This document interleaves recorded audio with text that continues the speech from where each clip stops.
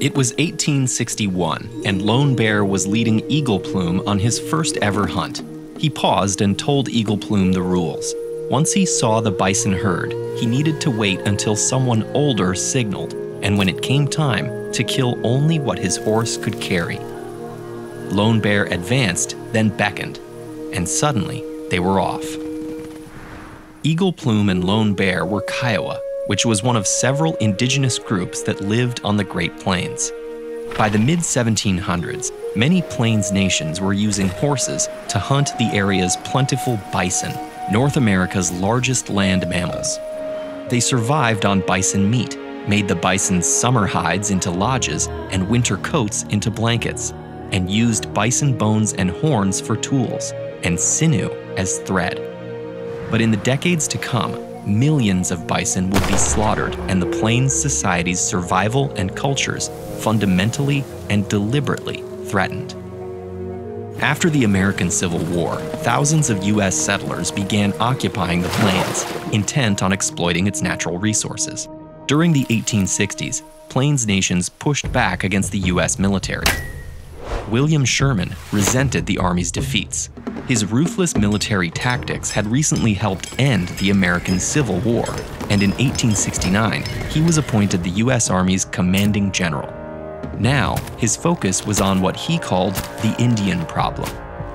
U.S. government officials were determined to force Native American people into designated areas they called reservations. This way, they could control indigenous people while U.S. settlers and companies profited off their land. Sherman pledged to stay out west, in his words, till the Indians are all killed or taken to a country where they can be watched. Meanwhile, the demand for leather, like the kind used for belting to connect industrial machinery, boomed. To meet the demand, U.S. hunters armed with rifles killed bison all across the plains. Sherman and other military officials realized they could meet their goal passively by letting this lurching industrial economy run unchecked. Their idea was that if hunters depleted the bison, Plains indigenous peoples would be starved into submission. One U.S. colonel told a visiting British lieutenant kill every buffalo you can. Every buffalo dead is an Indian gone the US military refused to enforce treaties that barred civilian hunters from tribal territory, and it sometimes provided hunters with protection and ammunition. Many hide hunters killed 50 bison a day. During a two month span in 1876, one hunter killed 5,855 bison, the near constant firing of his rifle leaving him deaf in one ear. Some of the bison the hunters shot wandered away and died. Commonly, the hunters would only retrieve the bison's hides and tongues, leaving the rest to rot. Inexperienced skinners destroyed hides as they flayed them, and bison carcasses that were left were torn to pieces by other animals. So, hunters began lacing bison meat with poison so they could also collect wolf pelts. Native American people protested, and humanitarian and animal rights groups tried to intervene as the bison population plummeted.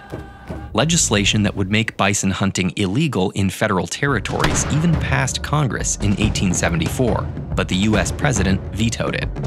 After all, the sordid strategy was working.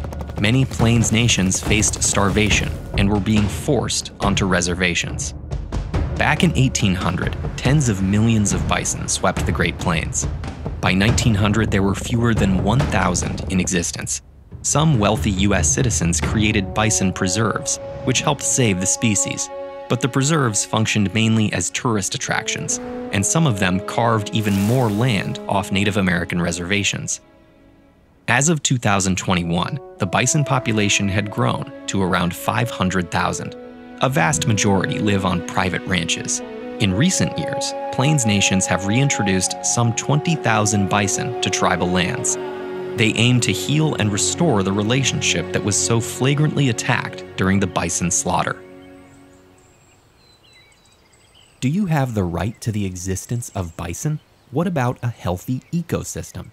A group of young people recently sued the state of Montana for violating their right to a clean and healthful climate, and they won. Educators, download TED-Ed's free Student Talks activities to help your students identify their best ideas and hone their public speaking skills. Because you never know when the right idea, communicated clearly, might help protect our most precious resources. Visit ed.ted.com slash student talks to get started.